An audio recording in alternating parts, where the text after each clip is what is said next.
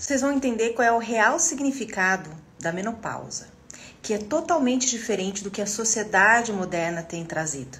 Quando eu falo sobre menopausa, a maior pergunta que vem é, indiscutivelmente é qual é a sua opinião sobre reposição hormonal? E eu vou falar muito além disso.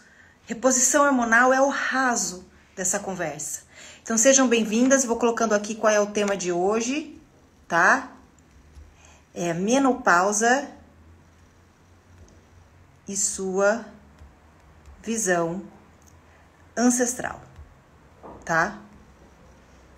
Eu vou contar uma história aqui sobre antropologia feminina,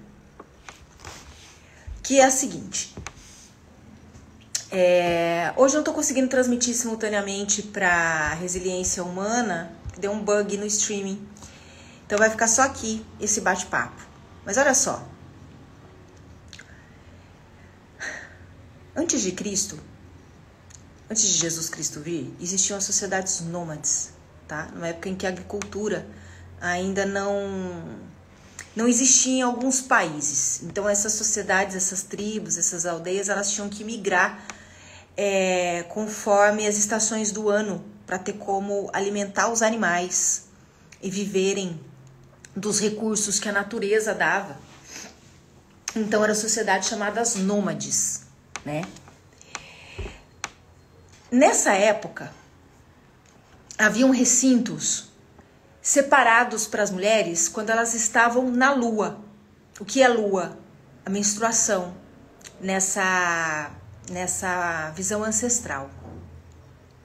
E naquela época, por no, pelas mulheres não estarem tão é, metralhadas por fatores externos, estresse, ansiedade, agrotóxico, poluição, petrolato, e ser um outro sistema de vida, né?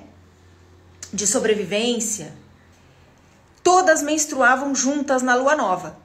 Agora, sobre menstruarmos juntas, a gente não precisa estar antes de Cristo, a gente já sabe que isso acontece, né? Então, se você mora numa casa que tem outras mulheres que menstruam naturalmente, sem usar pílula, né? Porque quem usa pílula não menstrua. É, se você vive ou convive com mulheres no seu ambiente de trabalho, você nota que os ciclos se harmonizam, né? Então, se você vem morar aqui na minha casa, né, você não toma pílula também igual a mim, por exemplo, eu tô no final da minha lua, da minha menstruação agora. Provavelmente, se você já tivesse aqui há dois ou três meses, estaríamos nós duas no final da lua. Por que, que as mulheres que convivem pessoalmente menstruam juntas em idade fértil?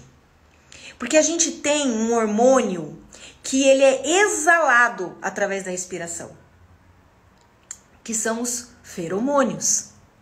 E quando a gente faz essa troca entre mulheres, é tão mágico e tão bonito isso, e é biológico também, eles se comunicam e se alinham.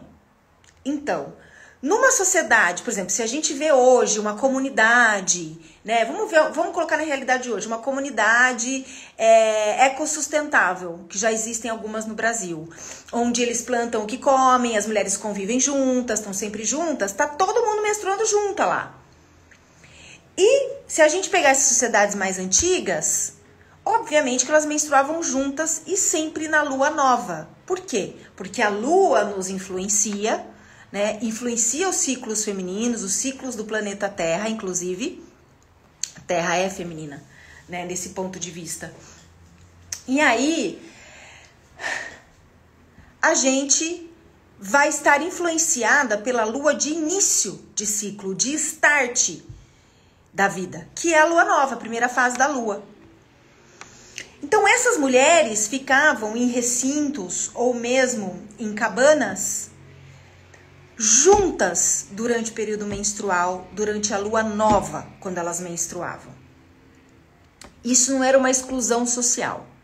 Isso era um, uma maneira de proteger essas mulheres e de oferecer a elas o que elas precisam nesse momento da menstruação, que é recolhimento, cuidado, relaxamento. Por quê? Porque quando a gente menstrua, É como se a, gente, a nossa glândula pineal aqui, que é uma antena com o divino, começasse a captar muita coisa. Né? O chakra da terceira visão, que é o da intuição, se comunica muito com o centro energético uterino.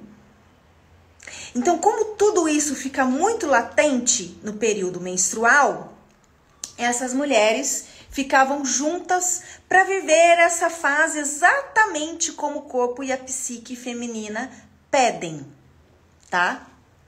Pois bem, nessas sociedades que respeitavam muito os ciclos femininos, essa parte para mim é a melhor. Quem dava as diretrizes para essas sociedades eram as anciãs, ou seja, as mulheres mais velhas. E as mais respeitadas dentro dessas hierarquias eram as mais velhas, as que já haviam passado pela menopausa. Por quê? Porque a menopausa, nessa visão ancestral, isso faz todo sentido, é um rito que demarca o ápice da sabedoria feminina. É quando a mulher já dispensa biologicamente, psicologicamente, o, a potência desse oráculo que é o ciclo menstrual, porque ela já detém em si esse autoconhecimento, toda essa sabedoria a respeito de si e sabe como transmitir isso para as pessoas. Então, essas mulheres, essas mesmas mulheres que tinham passado pela menopausa, naquela época, se uniam às mulheres que estavam na lunação, na menstruação, nas chamadas tendas vermelhas, que vocês já devem ter ouvido falar, né? Estavam ali com elas. No entanto, elas dispensam biologicamente a necessidade de sangrar. E quando as mulheres saíam da tenda vermelha, os homens esperavam, ansiosos, pelas diretrizes que vinham para os próximos 28 dias. Por quê? Porque, como eu já disse aqui, durante o período menstrual é como se a nossa antena captasse muitos insights, muitas intuições. A gente percebe tudo que a gente precisa colocar energia para fazer fluir nos próximos 28 dias. É que a maioria das mulheres não sabem usar o ciclo como oráculo, não sabem usar tudo isso estão perdidas ainda. Vocês me ouvem falar, mas na verdade, se aqui tem agora 17 mulheres, é uma ou duas que conhecem o ciclo e que vivem isso que eu explico. E nessa visão ancestral, era impossível a mulher, uma menina, não ter o direito de nascimento de entender como usar os seus ciclos a favor da sua realização, da sua intuição, da sua criatividade do seu poder de materializar, de realizar, de cuidar, de colaborar. Hoje tudo isso se perdeu. Então, vejam bem, olha como que a gente foi para outro extremo. Essa sabedoria ancestral, onde as mulheres que passaram pela menopausa são as mais reverenciadas, as mais respeitadas e as que davam as diretrizes dessas sociedades matricêntricas, hoje, quando uma mulher acha que ela está entrando na menopausa porque o ciclo começou a ficar irregular, e às vezes nem é menopausa, porque o ciclo pode ficar irregular por diversos motivos que não é menopausa ou alteração hormonal. A primeira pergunta, primeiro sentimento que as mulheres têm, aquelas que não têm problemas graves ginecológicos, porque tem umas que vivem sofrendo com a menstruação a vida inteira, com um monte de problemas ginecológico, nunca tiveram acesso a esse tipo de coisa que eu explico, que todos esses sintomas, todo, toda essa sofrência com o feminino vem de uma desconexão com o próprio feminino, vem de desconhecer tudo isso, vem de não entender que a linguagem do sistema ginecológico sobre as nossas desconexões femininas, as situações que a gente precisa trabalhar na nossa vida, estão vindo através dos nossos ciclos, da menstruação, tá? Então, hoje, a primeira coisa que acontece com uma mulher que não tem tantos problemas ginecológicos ao longo da vida fértil, quando ela acha que ela está entrando na menopausa, é uma preocupação, porque é como se o relógio biológico dela batesse na porta e falasse assim: amor, você tá velha. Aí vocês podem dizer assim pra, mim, mas Karime, é isso que acontece. A gente fica na menopausa porque a gente tá ficando velha. De um certo de ponto de vista, sim.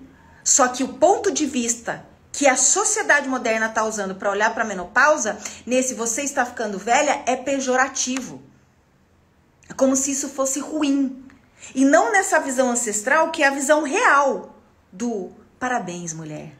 Você entrou na menopausa e agora você já está livre de sangrar todos os meses para ter o seu autoconhecimento, para desenvolver a sua intuição, a sua percepção, a sua energia sexual criativa. Você agora vai viver a sua sexualidade, a sua intuição, a sua sabedoria dispensando esse fator biológico. Parabéns! É uma honra ter uma mulher que está no ápice da sabedoria, mais uma dentro dessa sociedade. Por que, que foi para o extremo contrário disso? Porque nós, mulheres, temos um altíssimo poder de consumo para determinadas indústrias específicas que o homem não vale número nenhum. Por exemplo, para quem que a indústria da moda está trabalhando? É para vender para o homem? Não, a indústria da moda, ela trabalha para vender para a mulher.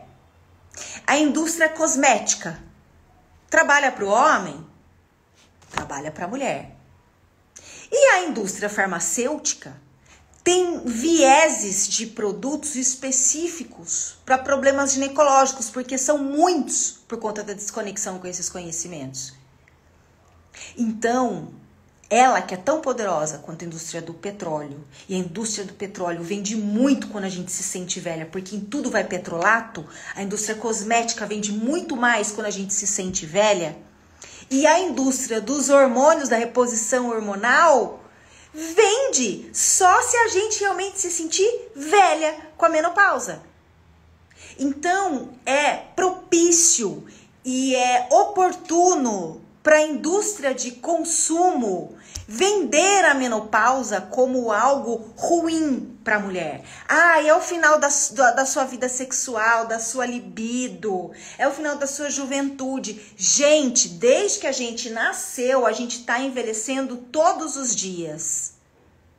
Quando a gente tem a primeira menstruação, ninguém vira pra gente e fala assim: nossa, hein, você já tá ficando velha, olha, começou a menstruar, agora virou uma mulher de verdade. Não.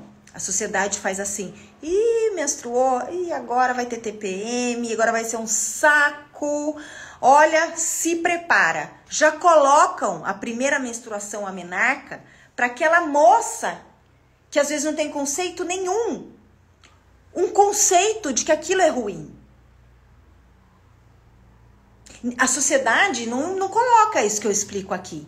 Porque o certo, a minha filha tem 8 anos, vai fazer 9. Deve menstruar mais ou menos com a idade que eu menstruei, uns 13 anos. Quando ela menstruar, eu vou dar um abraço, um beijo nela e vou explicar o presente que ela ganhou em poder agora utilizar os ciclos dela como oráculo. Agora, a menopausa ser algo que coloca a mulher sem autoestima, sem amor próprio, se sentindo velha e mexe com a beleza, que é uma indústria que vende muito, é muito vantajoso para quem lucra com isso. Quando é que a gente precisa de reposição hormonal? A gente tem que começar pelo básico. Antes de toda mulher achar que precisa de reposição hormonal quando chega no climatério, primeiro, a primeira tentativa Primeira coisa antes de eu falar o que eu ia falar. Antes, é muita informação na minha cabeça. Uma mulher que em idade fértil já conhece os seus ciclos, já entende os sintomas da TPM, já está resolvendo suas pendências com o feminino, com o seu sistema familiar, já vive o que a ginecologia emocional coloca aqui, dificilmente ela vai sofrer no climatério. Dificilmente. E isso eu falo com total propriedade, porque desde 2017 eu faço esse trabalho. Já passaram quase 6 mil mulheres aqui na minha mão através da metodologia. E todas que entraram na menopausa, de todas, raríssimas, me procuraram para dizer que estavam ficando loucas com os sintomas. Por quê? Porque aprenderam a olhar para as questões que precisam cuidar em idade fértil. Tem uma visão que diz o seguinte: quando a mulher ela ignora os sinais do corpo dela, que são os sinais da história dela com o feminino, ao longo do, da sua vida fértil enquanto ela menstrua, os sintomas vão vir com tudo no climatério para que ela pare, enxergue, cuide dela e resolva essas questões. E aí, quando a gente não entende nada disso ainda, só piora. E a gente vai fazendo reposição hormonal sintética, que é uma coisa delicada, mas está aí para colaborar e ser usada com responsabilidade, porque a gente perdeu a oportunidade ou não apareceu a oportunidade de entender tudo isso como vocês têm aqui, ouvindo tudo isso agora, tá? Mas antes de pensar em reposição hormonal sintética, a gente tem que procurar já trabalhar o corpo.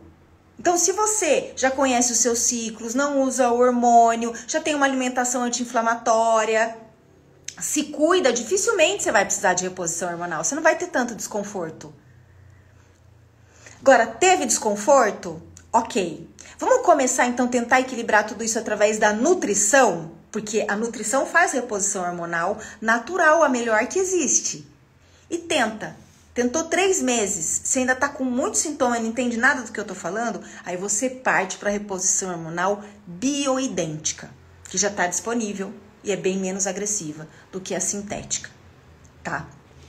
Gente, eu, hoje eu tive dificuldade para entrar aqui e já preciso encerrar com vocês, mas eu quero lembrar que Aproveitem vocês que não entraram ainda no climatério na menopausa para se conhecerem, para conhecerem os seus ciclos e já irem resolvendo as pendências que vocês têm ao longo da história biográfica, do sistema familiar, entendendo os sintomas que você tem da TPM, as raízes emocionais das irregularidades, se conectar com o seu centro energético uterino, com o seu sagrado que está aí.